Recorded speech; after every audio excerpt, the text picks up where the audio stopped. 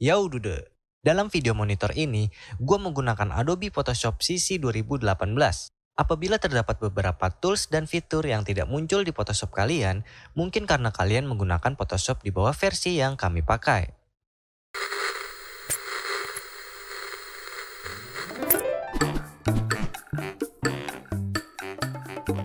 Beberapa waktu yang lalu, gue membuat konten tutorial visual art mengenai cutout text effect. Lalu video ini adalah mock up-nya. Kan pada nanyain tuh kemarin di IG. Emang gitu ya pada maunya yang gampangnya aja. Guanya mau aja lagi. Padahal masih banyak list antrian tutorial. Tapi nggak apa-apa. 2022, gue pengen lebih banyak berinteraksi sama kalian, Dude. Ya udah, simak cara gunain mockupnya.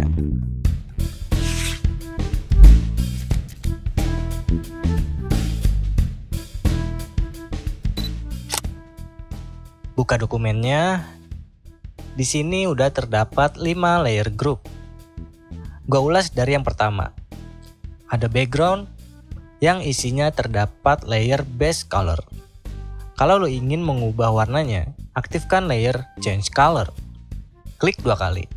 Dan geser hue. Oke, matikan sementara. Di atasnya ada layer group black and white. Buat lo yang ingin warnanya hitam putih aja. Oke, gue kembalikan seperti semula. Next, layer group cutout effect. Ini jangan ada yang diutak-atik, karena ini adalah inti dari efeknya.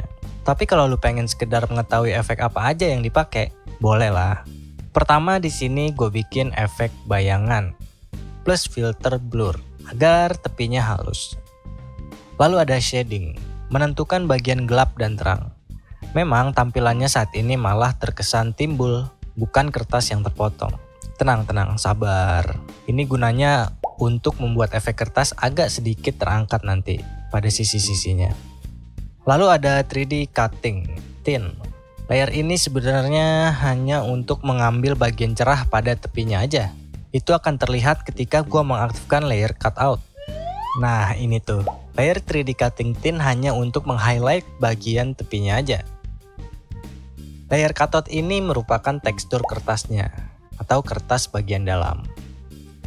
Nah, terakhir layer cutout light dengan membuat efek bayangan gelap dan terang sehingga bisa membuat kesan kertas telah terpotong. Oke, jadi itulah dua layer group yang menjadi inti dari efek kertas terpotong. Selebihnya hanya layer group pendukung manipulasi, seperti lighting, watermark buat menandakan identitas karya seninya, Nah, bagaimana cara memasukkan gambar atau custom text kalian? Sehingga ini benar-benar bisa disebut mock up. Mudah aja, lu cukup klik dua kali thumbnail layer your image. Maka akan terbuka dokumen baru dengan format .psb. Dan lu tinggal import atau drag gambar lu ke dokumen ini. Untuk contoh, gue udah bikin beberapa objek. Misalnya teks Coca-Cola warna putih Nah, untuk memastikan skala atau ukuran yang tepat, aktifkan sementara layer Save Area. Ini adalah batas aman dari gambar atau teks kalian. Tapi ingat, ini hanya untuk penanda saja. Jadi sembunyikan lagi layernya kalau objek kalian udah oke. Okay. Udah, lu tinggal save dengan tekan Ctrl S. Dan kembali lagi ke dokumen utamanya. Tara, lu udah berhasil mengubah gambarnya.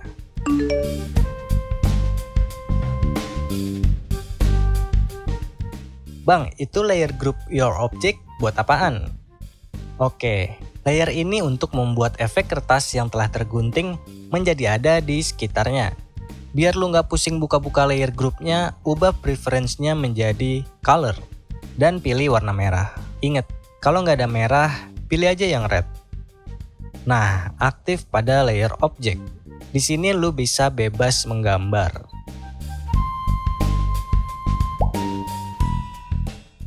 Lalu warnai dengan tekan Alt Delete sehingga guntingan kertasnya muncul di sini gitu. Untuk menghapusnya klik menu Select All atau bisa tekan Ctrl A terus tinggal delete.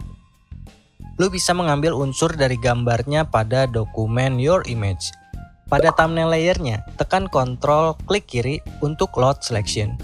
Lalu copy Ctrl C dan paste paste ke dokumen utama pada layer objek. Lu bisa mengubah warnanya pada layer style color overlay.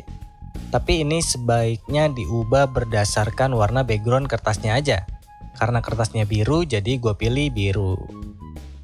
Nah kalau misalnya backgroundnya hitam putih, terus gambarnya gue terapkan yang example ini. Lalu gue mau ambil gambar awannya. Terus gue kopas di layer objek nah seharusnya kan kertas berwarna putih nih bukan biru.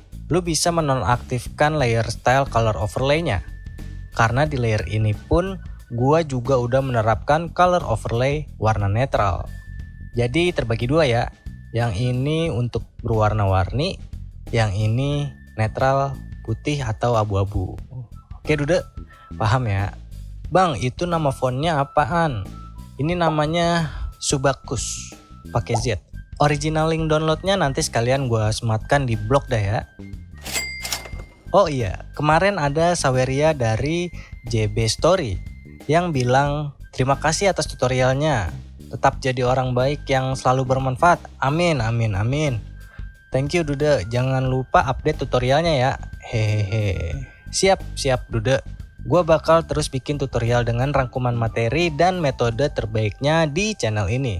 Terima kasih ya sawerianya Dude. Makasih udah support. Sip.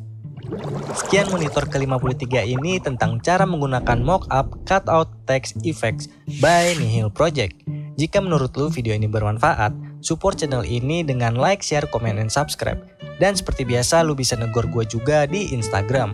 Follow aja at Nihil Project. Oke dude, gue Ega. Sampai jumpa di video-video selanjutnya. Cayo!